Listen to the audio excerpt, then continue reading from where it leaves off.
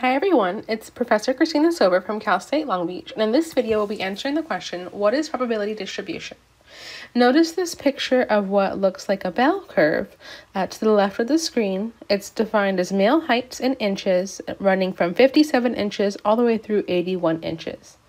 This is a probability distribution of male identifying people. Terms we want to know is area under the curve, and that information is all of the values underneath this brown line. So everything in here is the area under the curve. When we say that the area under the curve is 1, that means the probability of selecting a male identifying person of a given height, they're all underneath this curve. Everybody is represented, represented in this curve um, from 57 inches tall to 81 inches tall.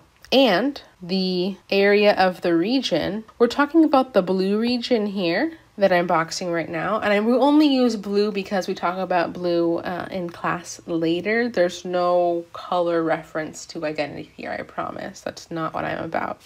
Um, but that's the area of the region. If we wanted to answer the question or the statement that the area of the blue region, well, actually is 0.5.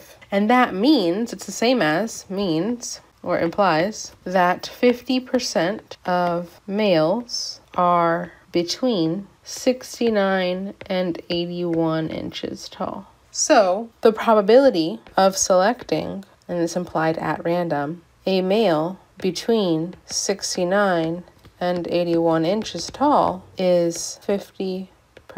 So a probability distribution legitimately gives you probabilities of the particular example.